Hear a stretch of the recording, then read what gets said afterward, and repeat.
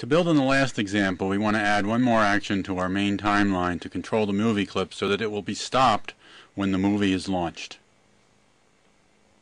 Here's the starting and ending example. Both have the same assets, same controls, and the controls work the same. Uh, the one on the left, with our starting example, is starting in a playing state, and the one on the right is starting in a stop state. The controls work the same. So let's get our starting movie and see how we make the changes. And we'll open up the start file and I'll quickly save it and give it a name. I'll call it practice.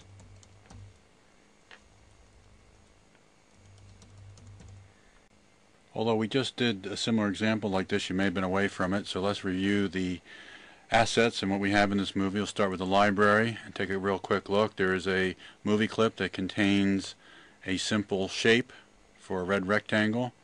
We also have another movie clip that has an animated version of that. We'll open that briefly and we can see it's 120 frame motion tween to make a rotation effect. We have the play button from the common libraries and the stop button from the common libraries. This comprises our library. Let's go take a quick look at scene one. And on scene one we can see we have uh, three layers. The bottom layer has got the rotation movie clip. It's locked right now. Let me unlock it, select it, you see the properties, and it's the red rectangle rotation. I'll hit the swap button here quickly. Rotating clockwise movie clip. We'll relock that layer on the controls layer, unlock it, the uh, there's a play button. And the properties, it's uh, got an instance name play button, which is used in the action scripting, and the stop button has a name stop, which is also used in the action scripting. We'll lock that. We already have some ActionScript in here. Uh, we'll select the ActionScript layer and right click on the first keyframe and we can see the ActionScript from the previous example and uh, controlling our start and stop buttons.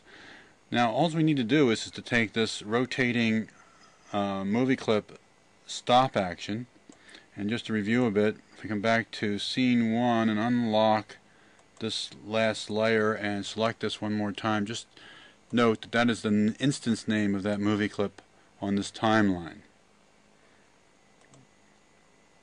So come back to the actions for frame 1. And so uh, we're asking it to stop when the stop button is clicked. We also want the same action to occur when this frame starts, which is the first frame. So we'll just paste it up here on the first line. We'll test the movie. And we can see now the movie is in a stop state. And then the buttons work from there.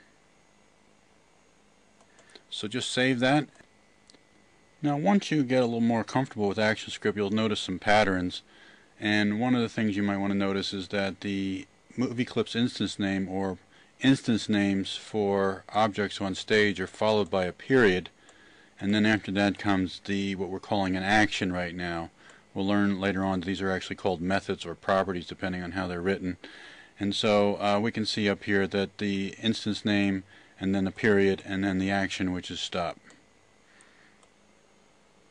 Okay, that was a pretty simple example. All we had to do was copy some code, put it in a new place.